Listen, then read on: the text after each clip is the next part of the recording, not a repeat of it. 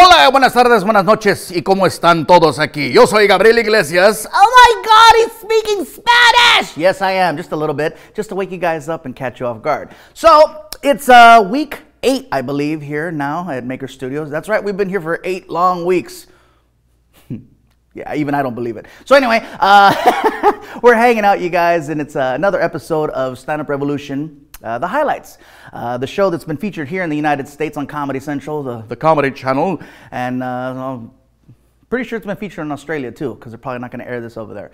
But I want the rest of the world to enjoy, and I want to give a couple shout outs. He's gonna give shout outs. Yeah, I want to give a shout out to, uh, first of all, to Norway. I'm like, really? Norway? Yeah, apparently Norway. I'm like David Hasselhoff over there. Uh, I got a chance to play a couple arenas, and I want to thank all freaking 20,000 of you guys for coming out. I'll see you guys next year. Uh, also, want to give a shout out to Saudi Arabia.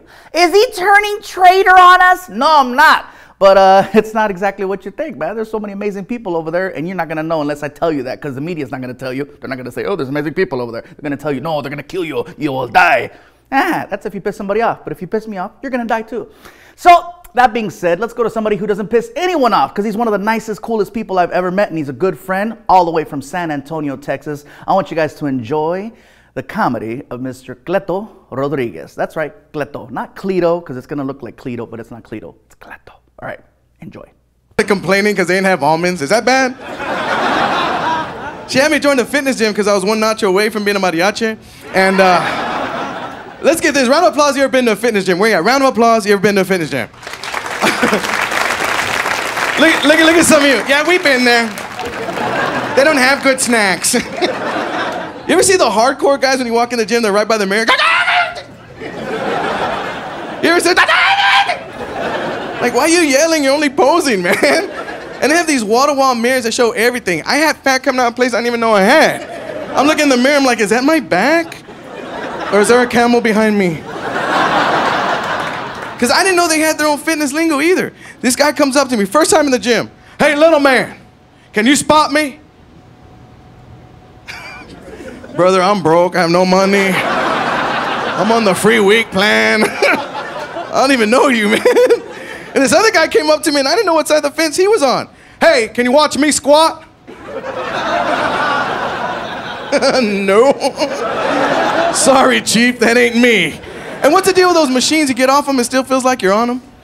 I was on the Stairmaster for like 45 minutes. I got off that thing, I'm like, hey, where's your water?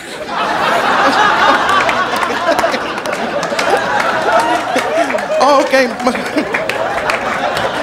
All day long, I look like a moron. I go, I need some bread at the gro-" You ever work out so hard you started breathing funny?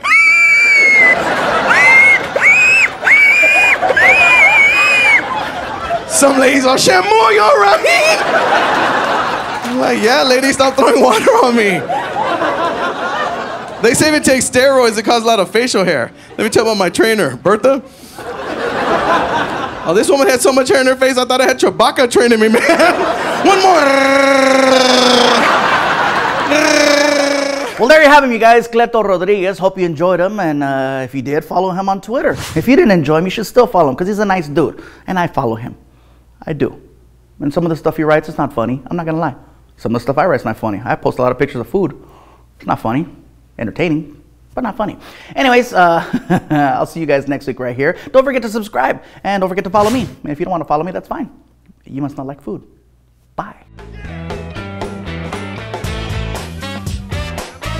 I'm sitting there eating my taco. I forgot my scrunchie again, you know? I'm like, "Ah, ah, ah,